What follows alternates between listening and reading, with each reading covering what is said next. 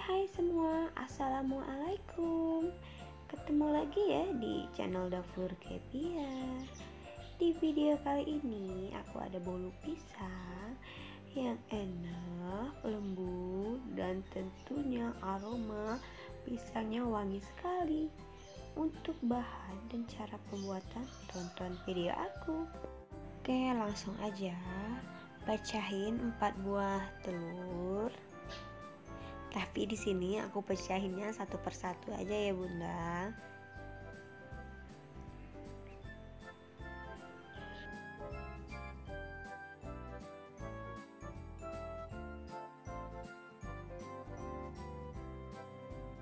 Lanjut masukkan 200 gram gula pasir.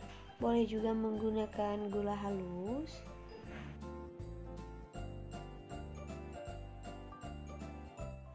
2,5 gram vanili bubuk dan lanjut kita mix agar semuanya tercampur merata dengan kecepatan speed paling tinggi.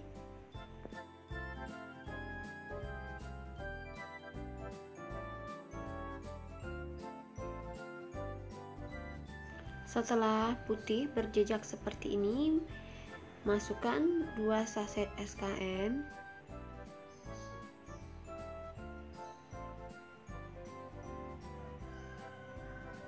boleh memakai merek apa aja bunda? Kalau di sini aku memakai Indomil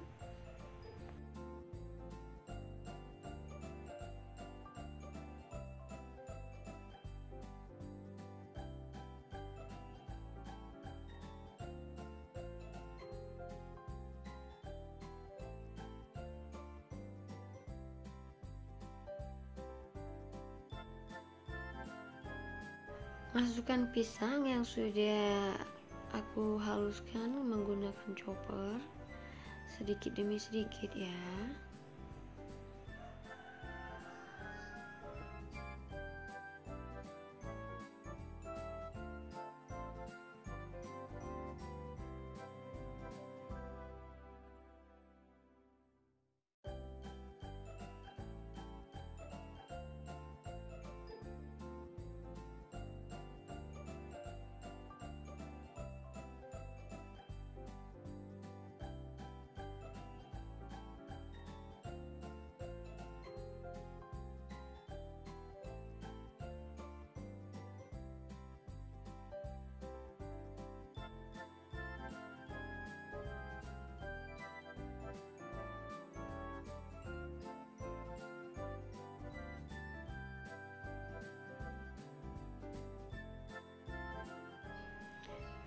masukkan 3 gram soda kue.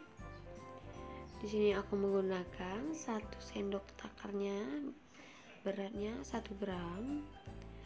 Jadi aku memasukkan 3 sendok dengan total 3 gram ya bunda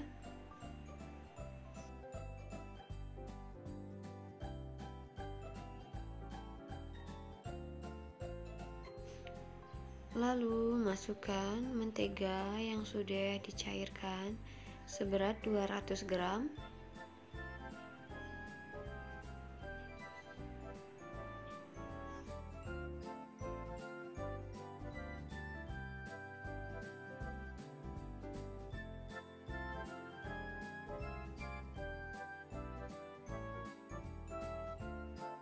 Masukkan 350 gram terigu protein sedang. Di sini aku menggunakan segitiga biru. Sedikit demi sedikit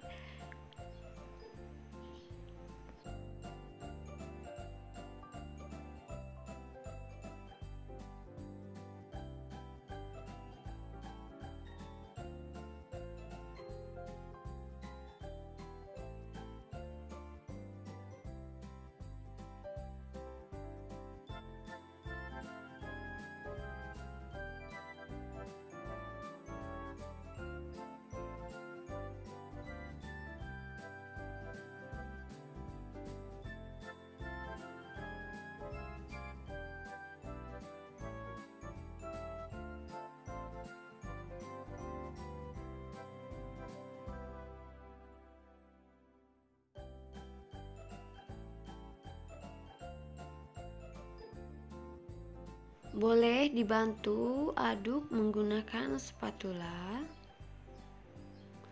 supaya terigu yang melengket di pinggir-pinggir wadah adonan itu bisa tercampur merata. Sudah mulai merata ya bunda. Dan adonan sudah siap di oven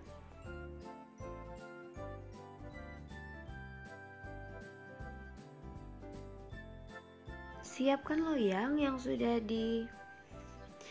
dilapisi sama mentega dan terigu. Ini supaya adonan tidak melengket ya. Dan masukkan adonannya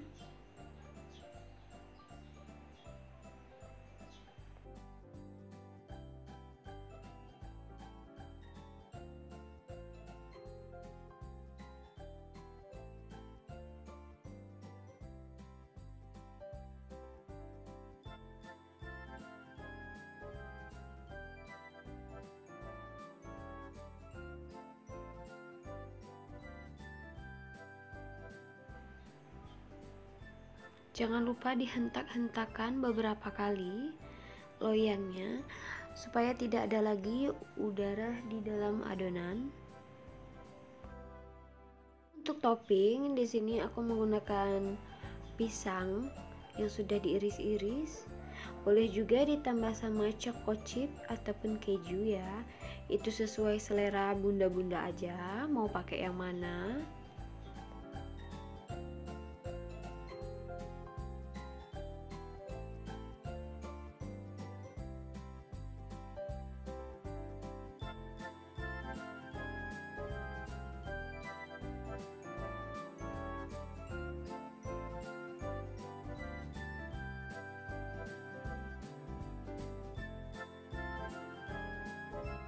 Lanjut kita panggang.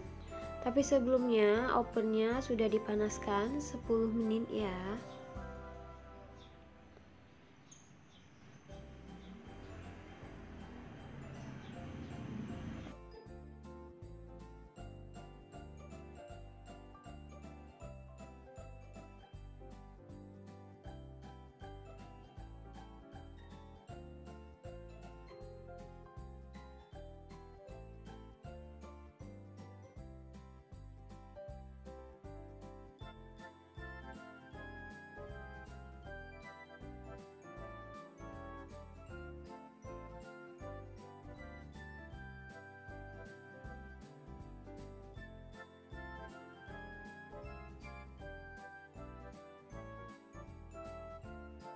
tutup oven.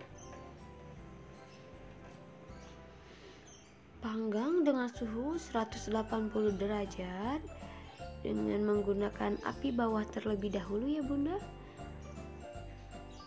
Selama 50 menit. Setelah matang di 50 menit sekarang kita ubah setelan api atas api bawahnya ya selama 10 menit bunda.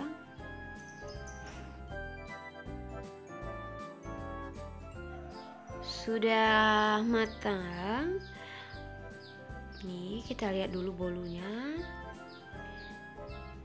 Atasnya sudah kecoklatan ya.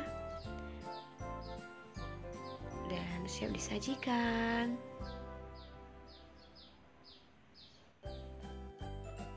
Selesai bunda, selamat mencoba. Ditunggu kritik dan saran di kolom komentar.